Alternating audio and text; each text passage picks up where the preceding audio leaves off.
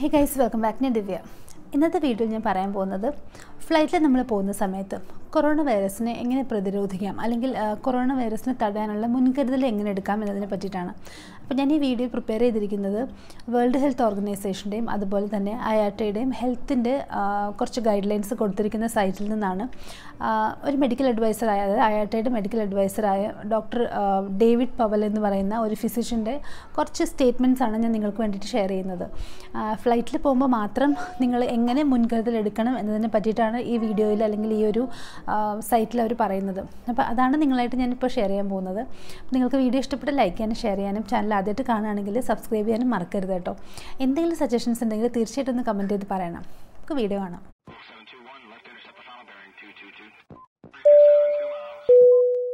നമുക്കറിയാം ചൈനയിലെ വുഹാൻ എന്ന് പറയുന്ന സിറ്റിയിൽ നിന്നാണ് ഈ ഒരു കൊറോണ വൈറസിന്റെ ഔട്ട് ബ്രേക്ക് ഉണ്ടായത്. ഈ കോവിഡ് നയന്റീൻ അല്ലെങ്കിൽ കൊറോണ വൈറസ് എന്ന് പറയുന്ന അസുഖത്തിന്റെ സിംറ്റംസ് എന്ന് വെച്ചിട്ടുണ്ടെങ്കിൽ ചെറിയ മൈൽഡായിട്ടുള്ള കോൾഡ് കഫ് അതുപോലെ ഫീവർ പിന്നീട് വൊമിറ്റിംഗ് അത് കൂടി കൂടി ന്യൂമോണിയ വരാവാനുള്ള ചാൻസസ് ഉണ്ട്. ഇതാണ് അതിന്റെ സൈൻസ് ആൻഡ് സിംറ്റംസ് അപ്പോൾ ഈ ഒരു സൈൻസ് ആൻഡ് സിംറ്റംസ് ഉള്ള ആരെങ്കിലും നിങ്ങൾ കാണുകയാണെങ്കിൽ എയർപോർട്ടിൽ അല്ലെങ്കിൽ എയർക്രാഫ്റ്റ് വിളിച്ച് വെച്ചിട്ട് നിങ്ങൾ കാണുകയാണെങ്കിൽ അത് ഉടനെ തന്നെ സ്റ്റാഫിനെ ഇൻഫോം ചെയ്യുക. ഇങ്ങനെ ഒരാൾ ഈ ഒരു സിംറ്റംസ് ആയിട്ട് ഫ്ലൈറ്റിലുണ്ട് ആ ഒരു ഡീറ്റെയിൽസ് നിങ്ങൾ ആ ഒരു സ്റ്റാഫിന് കൈമാറുക എന്നുള്ളത് വളരെ ഇമ്പോർട്ടന്റ് ആണ്. ഇത്രയും രാജ്യങ്ങളിലേക്ക് ഈ ഒരു കൊറോണ വൈറസ് പടരാൻ തന്നെയുള്ള ഒരു സാധ്യത അല്ലെങ്കിൽ ഒരു ചാൻസ് ലഭിച്ചത് തന്നെ എയർ ട്രാവൽ വഴിയാണ്.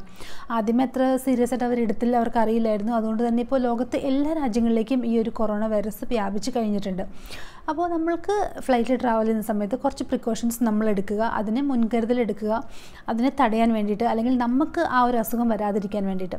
അതിലിപ്പോൾ ഒന്നാണ് ഞാൻ ആദ്യമേ പറഞ്ഞത്. ഇനിയിപ്പോൾ നിങ്ങൾക്ക് കോൾഡോ അല്ലെങ്കിൽ കൊഫോ ഉള്ള സമയത്ത് നിങ്ങൾ ട്രാവൽ ചെയ്യാതിരിക്കുക. കാരണം ആ ഒരു അസുഖം ഇപ്പോൾ ആര് ചുമച്ചാലും അല്ലെങ്കിൽ ആര് തുമ്മിയാലും ആർക്ക് ഫീവർ ഉണ്ടെങ്കിലും അത് കൊറോണ വൈറസ് ആണ് എന്നൊരു ധാരണ ജനങ്ങളിൽ ഓൾറെഡി വന്നു കഴിഞ്ഞിട്ടുണ്ട്.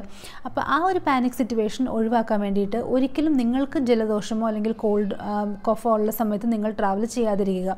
ഫ്ലൈറ്റിൽ എപ്പോഴും ട്രാവൽ ചെയ്യുന്ന സമയത്ത് നിങ്ങൾ അറിഞ്ഞിരിക്കേണ്ട ഒരു കാര്യം നിങ്ങളൊരു ഫ്ലൈറ്റിലൊരു സീറ്റിൽ ടച്ച് ചെയ്തതുകൊണ്ടോ അല്ലെങ്കിൽ ഒരു ആംറസ്റ്റിൽ തൊട്ടതുകൊണ്ടോ ഒരിക്കലും നിങ്ങൾക്ക് ഈ ഒരു അസുഖം വരാനുള്ള ചാൻസസ് കുറവാണ്.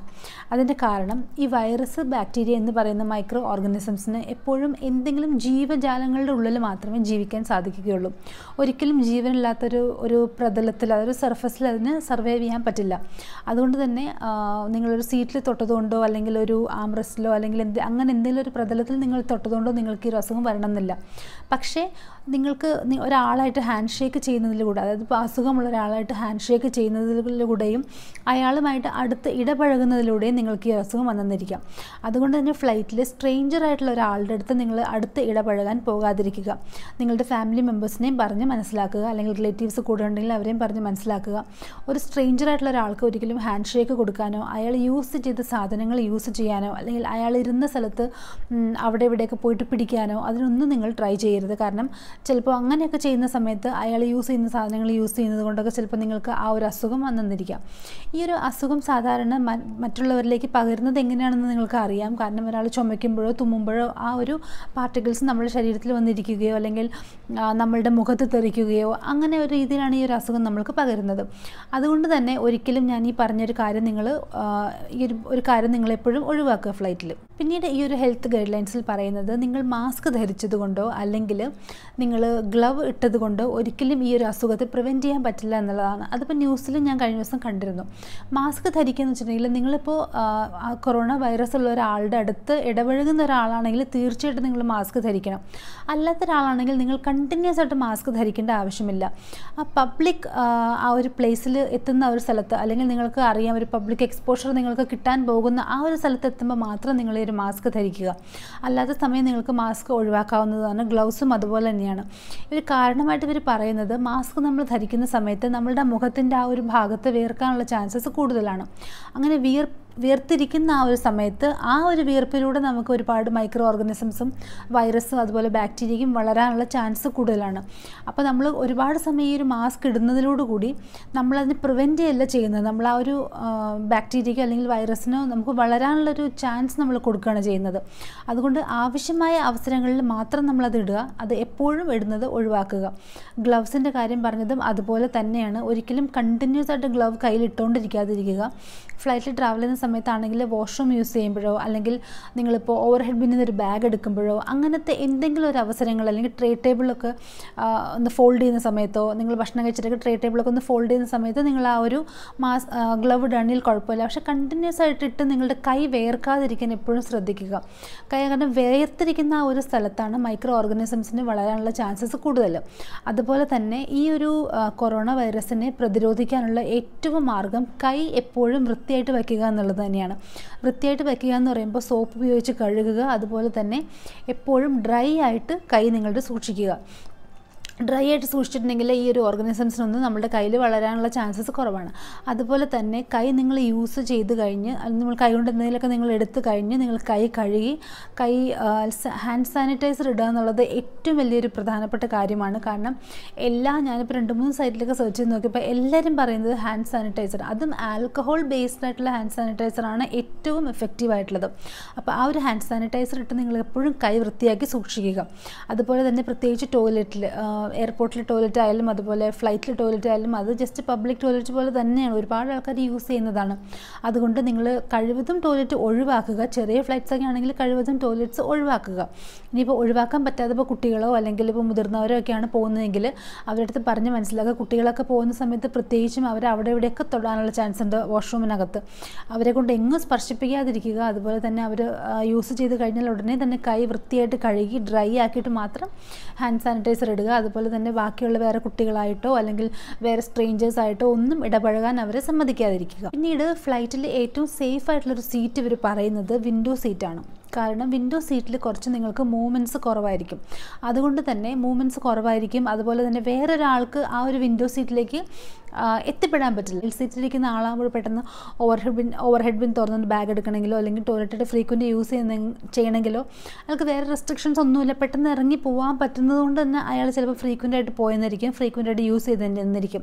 അതുപോലെ തന്നെ ക്യാബിൻ ക്രൂ ആയാലും ഒരുപാട് പ്രാവശ്യം പാസ് ചെയ്യുന്നു പോകുന്നതാണ് അയൽ കൂടെ. അപ്പോൾ അതുകൊണ്ട് തന്നെ അയാൾക്കാണ് അസുഖം ആ ഒരു അയൽ സീറ്റിലിരിക്കുന്ന ഒരാൾക്ക് അസുഖം ലഭിക്കാനുള്ള ചാൻസസ് കൂടുതലാണ്. പക്ഷേ വിൻഡോ സീറ്റിലിരിക്കുന്ന ആൾക്ക് അത് കുറവാണ്. അപ്പോൾ അത് വേറെ ഒരു ഘടകമാണ്. നിങ്ങൾ പോകുന്ന സമയത്ത് എപ്പോഴും ഒരു വിൻഡോ സീറ്റ് തന്നെ ചോദിച്ച് വാങ്ങാൻ വേണ്ടി ശ്രമിക്കുക. ലൈറ്റിൽ ഇപ്പോൾ നിങ്ങൾ തുമ്മുകയോ അല്ലെങ്കിൽ ചുമയ്ക്കുകയോ ചെയ്യുന്ന സമയത്ത് എപ്പോഴും ഒരു ടിഷ്യൂ വെച്ചിട്ടോ കർച്ചീഫ് വെച്ചിട്ടോ നിങ്ങളുടെ മുഖം പൊത്തിപ്പിടിക്കുക. അതുപോലെ തന്നെ ആ യൂസ് ചെയ്ത കർച്ചീഫോ അല്ലെങ്കിൽ യൂസ് ചെയ്ത ടിഷ്യൂവോ പിന്നീട് റീയൂസ് ചെയ്യാതിരിക്കുക. അത് എപ്പോഴും സുരക്ഷിതമായ ഒരു സ്ഥലത്ത് കൊണ്ടുപോയി തന്നെ ഡസ്റ്റ്ബിനിൽ തന്നെ കൊണ്ടുപോയി ഇടുക. ഒരിക്കലും സീറ്റിൽ ലക്ഷ്യമായി ഇടാതിരിക്കാൻ പ്രത്യേകിച്ച് ശ്രദ്ധിക്കുക. പലപ്പോഴും പാസഞ്ചേഴ്സ് ചെയ്യുന്ന ഒരു കാര്യമാണ് സീറ്റിനടിയിലേക്ക് ടിഷ്യൂ വലിച്ചെറിയുക അല്ലെങ്കിൽ സീറ്റ് പോക്കറ്റിനുള്ളിൽ വെക്കുക. ഒരിക്കലും ചെയ്യരുത്. കാരണം സീറ്റിന്റെ അടിയിലായാലും സീറ്റ് പോക്കറ്റിലായാലും അത് പിന്നെ ക്ലീനേഴ്സ് വരുമ്പോൾ അത് അവർ ക്ലീൻ ചെയ്യുന്നതാണ്. അപ്പോൾ അവർ കൈ കൊണ്ട് ടച്ച് ചെയ്യാനുള്ള ചാൻസസ് ഒക്കെ ഉണ്ട്.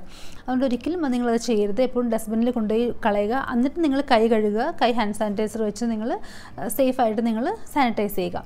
അതുപോലെ തന്നെ ഫ്ലൈറ്റിലെ എയറിൽ നിന്നും ഈ ഒരു രോഗം പകരാനുള്ള ചാൻസ് കുറവാണെന്നാണ് ഡബ്ല്യു എച്ച് ഒ പറയുന്നത്.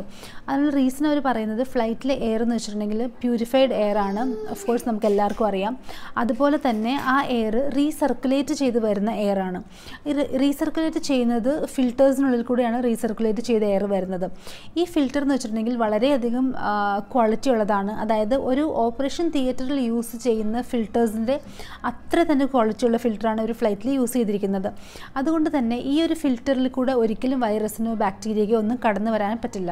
അപ്പോൾ അതുകൊണ്ട് എയറിൽ കൂടെ ഈ ഒരു ഫ്ലൈറ്റിനകത്ത് നിങ്ങൾക്ക് അസുഖം കിട്ടാൻ വേണ്ടി വളരെ കുറവായ ചാൻസസ് ആണുള്ളത്. എപ്പോഴും ഫ്ലൈറ്റിൽ നിങ്ങൾക്ക് അസുഖം കിട്ടാൻ ഉള്ള ഒരേ ഒരു ചാൻസ് എന്ന് പറയുന്നത് ബാക്കിയുള്ളവരുമായിട്ട് ഇടപഴകുന്നതിലൂടെ മാത്രമേ നിങ്ങൾക്ക് ലഭിക്കൂ എന്നാണ് ഡബ്ല്യു എച്ച് പറയുന്നത്. അപ്പോൾ അത് നിങ്ങൾ തീർച്ചയായിട്ടും ഒഴിവാക്കുക. ഫ്ലൈറ്റിൽ ഞാൻ ആദ്യം പറഞ്ഞത് സ്ട്രേഞ്ചേഴ്സായിട്ട് ഒരിക്കലും ഇടപഴകാനോ സംസാരിക്കാനോ സംസാരിക്കാനോ പോലും പോകേണ്ട ആവശ്യമില്ല സത്യത്തിൽ നിങ്ങളുടെ സീറ്റിൽ തന്നെ ഇരുന്ന് നിങ്ങൾ പോവുക. അത്രയും പ്രത്യേകിച്ചും ഈ ഒരു ഇത്രയും കൊറോണ വൈറസ് ഇത്രയും രാജ്യങ്ങളിലേക്കൊക്കെ ബാധിച്ചിരിക്കുന്ന സമയത്ത് ഏറ്റവും സേഫ് ആയിട്ടുള്ള ട്രാവൽ ചെയ്യാനുള്ള ഒരു മാർഗം അത് തന്നെയാണ്. അപ്പോൾ ഇത്രയും ഗൈഡ് ലൈൻസ് ആണ് അവർ ഈ ഒരു സൈറ്റിൽ കൊടുത്തിട്ടുള്ളത്. നിങ്ങൾക്ക് എന്തെങ്കിലും സജഷൻസ് ഉണ്ടെങ്കിൽ ഡബ്ല്യു എച്ച്ഒയുടെ വെബ്സൈറ്റിൽ പോയി നോക്കാവുന്നതാണ്. അപ്പോൾ നിങ്ങൾക്ക് വീഡിയോ പ്രയോജനപ്പെട്ടെന്ന് വിചാരിക്കുന്നു. എപ്പോഴും ട്രാവൽ നിങ്ങളുടെ ഫ്രണ്ട്സോ അല്ലെങ്കിൽ റിലേറ്റീവ്സോ ഒക്കെ ആരെങ്കിലുമൊക്കെ ട്രാവൽ ചെയ്യുന്ന സമയത്ത് അവർ നന്നായിട്ട് എഡ്യൂക്കേറ്റ് ചെയ്യുക. ഫ്ലൈറ്റിൽ എന്ത് ചെയ്യണം എന്ത് ചെയ്യാൻ പാടില്ല എന്ന കാര്യം അവർക്ക് പ്രത്യേകിച്ച് പറഞ്ഞു കൊടുക്കുക. അപ്പോൾ അടുത്തൊരു പ്രയോജനപ്പെടുന്ന വീഡിയോ ആയിട്ട് വരാം. Thank you so much and bye.